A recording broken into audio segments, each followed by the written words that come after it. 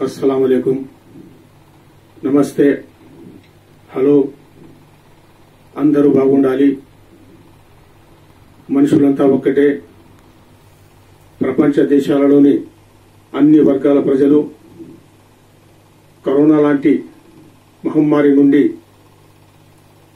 సురక్షితంగా ఉండాలి ఆ అల్లా సన్నిధిలో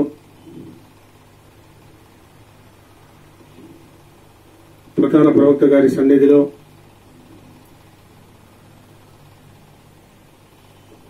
హజరత్ ఇమామి హుసేన్ రజి అల్లాహ్ తలాంహు ఆయన సన్నిధిలో విన్నవించుకుంటూ మిత్రులారా ఈరోజు ప్రపంచ దేశాలలో మొహర్రం నెల కొనసాగుతున్నది. ఇస్లాం మతంలో మొహర్రం నెలతో ఇస్లాం కొత్త సంవత్సరం మొదలవుతుంది. హజ్ యాత్ర నెలతో ఇస్లాం సంవత్సరం పూర్తి అవుతుంది కంప్లీట్ అవుతుంది. మొహర్రం అంటే త్యాగము త్యాగంతో మొదలవుతుంది. హజ్ కా మహీనా జీవుల్ హజ్ అంటే త్యాగంతో కూడిన నెల కాబట్టి అది హజరత్ ఇబ్రాహీం అలీ ఇస్లాంకు సంబంధము. ఆయన గొప్ప ప్రవక్త. ద్వారా ఇమామే హుసేన్ గారు అల్లా మెచ్చిన పవిత్రమూర్తి సంపూర్ణంగా పుష్కలంగా అల్లా తర్వాత ప్రధాన ప్రవక్త చీఫ్ ప్రాఫిట్ గారి యొక్క ఆశీస్సులు ఉన్న great personality of world ideal personality of the world dedicated personality of the world leader of the world వారు ఎవరంటే అంటే హజరత్ ఇమామి హుసేన్ అన్నమాట. ఇమామి హుసేన్ గారు ఇంగ్లీష్ కాలమాన ప్రకారము ఏడవ శతాబ్దంలో ఈ భూమిపైన దిగినారు. మిత్రులారా ఆయన చరిత్ర ఏడవ శత- శతాబ్దంలో బ్రహ్మాండంగా జరిగినది. ఇమామే హుసేన్ గారు ప్రధాన ప్రవక్త గారికి రెండవ మనవుడు ప్రధాన ప్రవక్త గారి ముద్దుల కూతురి పేరు హజరత్ ఫాతిమా అన్నమాట ఆయన భర్త గారు హజరత్ అలీ అన్నమాట. వారి పవిత్రమైన దాంపత్య జీవితంలో ఇమామి హసన్ ఇమామి హుసేన్ ఇద్దరు మనవళ్ళు జన్మించినారు. ఇమామి హుసేన్ రెండవ మనవడు ప్రధాన ప్రవక్త గారు అన్నారు ఇమామే హుసేన్ను ప్రేమిస్తే నన్ను ప్రేమించినట్టే ఇమామే హుసేన్ను గౌరవిస్తే నన్ను గౌరవించినట్టే ఇమామే హుసేన్ను వ్యతిరేకించి వ్యతిరేకించినా గాని విమర్శలు కురిపించినా గాని అనుమానాలు సందేహాలు పెట్టుకున్నా గాని అటువంటి పవిత్రమూర్తి పైన నా పైన సందేహాలు పెట్టుకున్నట్టే నన్ను వ్యతిరేకించినట్టే అని చాలా ముద్దుగా ఎంతో ప్రేమతో ప్రపంచ దేశాలకు అల్లా యొక్క ఆదేశాల మేరకు చెప్పడం జరిగింది. మిత్రులారా ఇమాన్ హుసేన్ గారు కేవలం ప్రజల కోసం సమాజం కోసం సర్వసభ్య సమాజం కోసం ప్రజాస్వామ్యం కోసం శాంతి కోసం సౌభాగ్యం కోసం బ్రతికిన మహామూర్తి గొప్ప పవిత్రమూర్తి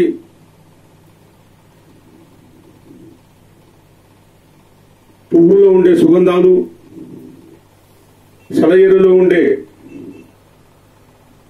అతి చక్కని తెల్లటి భావాలు గల మహానుభావుడు హజరత్ ఇమామ్ హుసేన్ గారు. వారి కాలంలో యజీద్ అనే ఒక దుర్మార్గుడు అక్రమ మార్గాల ద్వారా అంత పెద్ద సువిశాలమైన అరబ్ దేశానికి రాజుగా రావడం జరిగింది. యజీద్ అంటే విందు మందు పొందుకు పెట్టిన పేరు గొప్ప వేటగాడు. ప్రజలపైన అల్లా విధానం పైన ప్రధాన ప్రవక్త గారి శాస్త్రం పైన అవగాహన లేదు. వ్యతిరేక కార్యక్రమాలు ఎక్కువ చేసేవాడు. అటువంటి దుర్మార్గులు రాజ్యం వెళితే ప్రపంచ దేశానికే ప్రపంచ దేశాలకే నష్టము. ప్రపంచంలో మానవత ప్రపంచానికి నష్టమని తలచి ఆనాడు జరిగిన ధర్మ యుద్ధంలో ఇమామే హుసేన్ గారు ఎక్కడ కూడా భయపడకుండా తడబడకుండా శాంతి మార్గంలో అవసరమైనప్పుడే ఎమర్జెన్సీ కండిషన్లోనే అత్యవసర పరిస్థితుల్లోనే ఉర్దూ భాషలో హంగామీ సూరత్ అంటారు. అటువంటి సందర్భ సందర్భాల్లోనే ఇస్లాంలో యుద్ధం చేయడానికి అనుమతి ఉంది ఆర్డర్ ఉంది.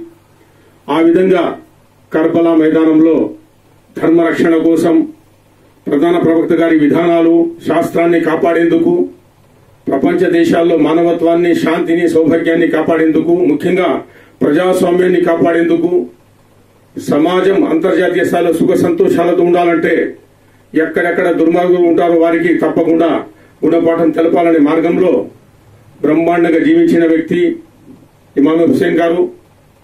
ఇమామి హుసేన్ గారు ఒక సందేశం ఇచ్చినారు. మనిషి పుట్టిన తర్వాత కుటుంబంలో గాని వీధిలో గాని గ్రామంలో గాని జిల్లాలో గాని రాష్ట్రంలో గాని అంతర్జాతీయ స్థాయిలో గాని సెల్ఫ్ కాన్ఫిడెన్స్తో సెల్ఫ్ ఎఫర్ట్స్తో సెల్ఫ్ ఎంప్లాయ్మెంట్తో తప్పకుండా ముందుకు రావాల్సిన అవసరం ఉంది. ఏనాడు కూడా ఏ మనిషి తన కుటుంబానికి తన జిల్లాకు తన రాష్ట్రానికి తన దేశానికి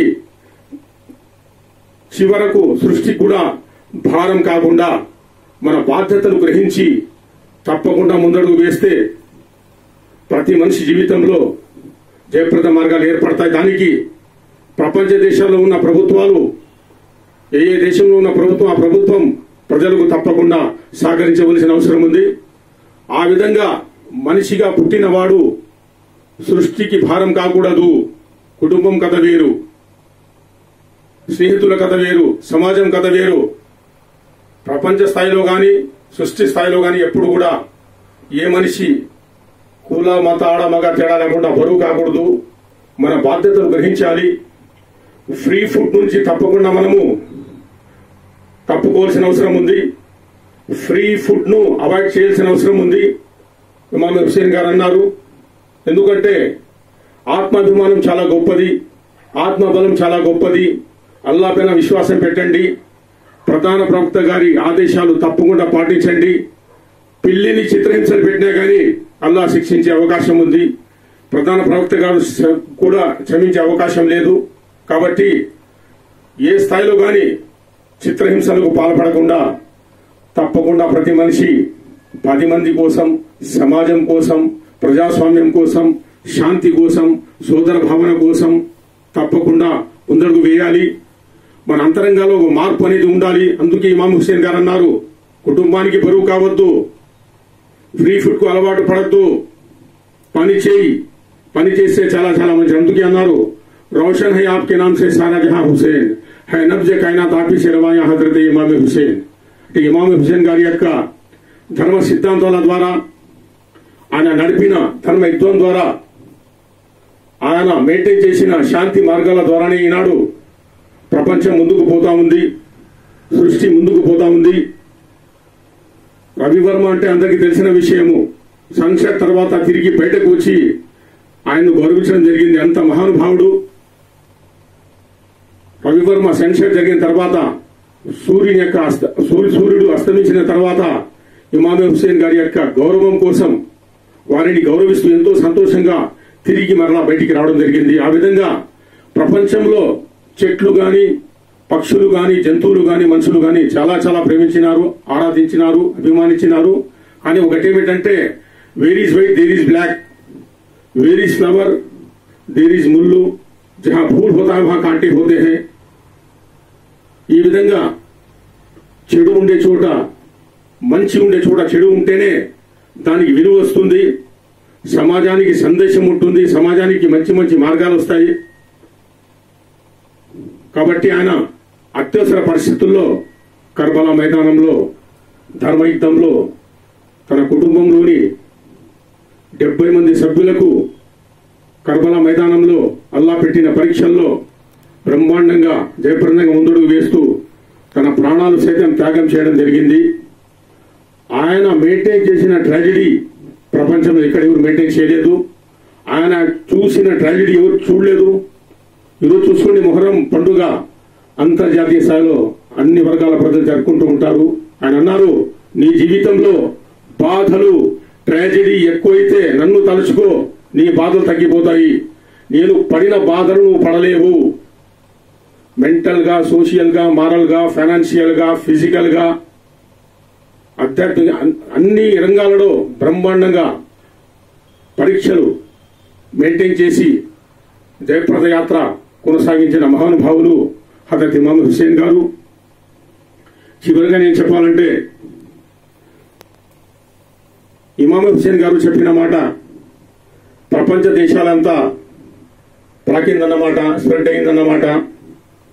మనం మన భారతదేశంలో చూసుకుంటే అమితాబ్ బచ్చన్ గారు ఒక సినిమా తీయడం జరిగింది ఆ సినిమా పేరు నమఖలాల్ దాంట్లో రెండు పంక్తులు ఉన్నాయి बुजुर्गों ने फरमाया कि अपने पैरों पे खड़े होकर दिखलाओ फिर ये जमाना तुम्हारा है ఆయన ఇచ్చిన సందేశం అన్ని రంగాల్లో ముందుకు పోతా ఉంది ఎవరికి క- కంట్రోల్ ఏం లేదన్నమాట మంచి మాట ఎక్కడైనా కానీ ఏ స్థాయిలో కానీ తప్పకుండా చెప్పచ్చు बुजुर्गों ने फरमाया कि अपने पैरों पे खड़े होकर दिखलाओ फिर ये जमाना तुम्हारा है అంటే మనము సెల్ఫ్ ఎఫర్ట్ తో సెల్ఫ్ డిపెండెన్స్ తో మంచి ప్రయత్నంతో జీవన పోరాటం చేసుకుంటూ మన కాళ్ల పైన మనం నిలబడితే తప్పకుండా సమాజంలో మంచి గుర్తింపు వస్తుంది కాబట్టి మనము ఎక్కడ కూడా ఎవరికి భారం కాకుండా పని చేసి ముందడుగు వేయాలి పని చేసి మనం కడుపు నింపుకోవాలి ఫ్రీ ఫుడ్కు అలవాటు పడితే రోగాలు వచ్చే ప్రమాదం ఉంది బుద్ధి చెడిపోయే ప్రమాదం ఉంది మారల్ వాల్యూస్ సోషల్ వాల్యూస్ ఆధ్యాత్మిక వాల్యూస్ మొత్తం సర్వనాశమయ్యే ప్రమాదం ఉంది కాబట్టి అందుకే ఇమాం హుసేన్ గారు ఇంగ్లీష్ కాలమాన ప్రకారం ఏడో అని అన్నారు. ప్రతి మనిషి స్వయం కృషితో ముందడుగు వేయాలి. Do not depend on others depend కావాల్సిందే కానీ ప్రతి దాంట్లో డిపెండ్ అయితే మనిషి సోమరిపోతుగా లేజీ ఫెలోగా తయారయ్యే ప్రమాదం ఉంది కాబట్టి అటువంటి సందేశం అమితాబ్ బచ్చన్ గారు గానం చేస్తూ నమ్మకలాల్ సినిమాలో ఆ పాటలో ఈ పంక్తులు చెప్పడం జరిగింది. బుజుర్గునే ఫర్మాయా చెప్పిన పేరుతో ఖడే హోకే దిఖిలావో ఫిర్యే జమానా తుమారా ఆ విధంగా మిత్రులారా ఇమామే హుసేన్ గారు ప్రపంచ దేశాలు గొప్ప కార్కాణంగా ఉన్నారు. ఏ రంగమైనా సరే అన్ని రంగాల్లో చాలా మంచి పర్సనాలిటీ. ఎక్కడ కూడా తప్పు చేసే అలవాటు లేదు. ఆయన జీవన కాలంలో ప్రజాబాహుళ్యం చెప్పడం జరిగింది. ఖురాన్ నడుస్తా ఉంది. ఇమామే హుసేన్ అడుగులు వేసి ముందుకు పోతా ఉంటే అదిగో ఖురాన్ నడుస్తా ఉంది. అదిగో ప్రధాన ప్రవక్త గారి ఆదేశాలు హదీస్ నడుస్తా ఉంది అంటే శాస్త్రం చట్టాలు బ్రహ్మాండంగా పాటించిన వ్యక్తి అతి బ్రహ్మాండంగా ఫాలో అయిన వ్యక్తి కాబట్టి ఆయన ఈరోజు మనమంతా తలుచుకుంటాము. మన భారతదేశానికి నేను భారతదేశ రాజ్యాంగానికి థ్యాంక్స్ చెప్తున్నాను. మరి శుక్రియా అదా కడతాము దస్తూరి హింద్ కా ఎందుకంటే మొహర్రంకులు మన భారతదేశంలో సెలవు ఇవ్వడం జరిగింది అంటే ఇమామి హుసేన్ గారి త్యాగాన్ని ధర్మ యుద్ధాన్ని ప్రజాస్వామ్యాన్ని మానవత్వాన్ని గుర్తించడం జరిగింది అదేవిధంగా చివరిగా మీకు చెప్పాలంటే మిత్రులారా నేను ఇమామి హుసేన్ గారి నాకు చాలా చాలా ఎనలేని అభిమానం ఆయన సందేశం ప్రతి చోట భారతదేశంలో ఇస్తూనే ఉంటాను ఒకసారి నా అంటే ఒక చిన్న చిన్న సన్నివేశం నేను ఆయన సందేశం ఇద్దామని ఇంటి నుంచి బయలుదేరినాను బయలుదేరింటే ఆటో ద్వారా ఒక మసీద్కు చేరుకున్నాను అక్కడ వింత చూసుకోండి అల్లా యొక్క లీల చూసుకోండి ప్రధాన ప్రవక్త గారి యొక్క అనుగ్రహం చూసుకోండి ఇమామి హుసేన్ గారి యొక్క అనుగ్రహం చూసుకోండి నా పైన. నేను ఇమామి హుసేన్ గారి అంశం పైన మాట్లాడి ఈ ఇంటి నుంచి బయలుదేరినాను. ఆ రోజు ఫ్రైడే అన్నమాట. ఇదే అనంతపురం నగరంలో ఆటో డ్ర- ఇమామి హుసేన్ గారి యొక్క అంశం పైన మాట్లాడదామని బయలుదేరినాను.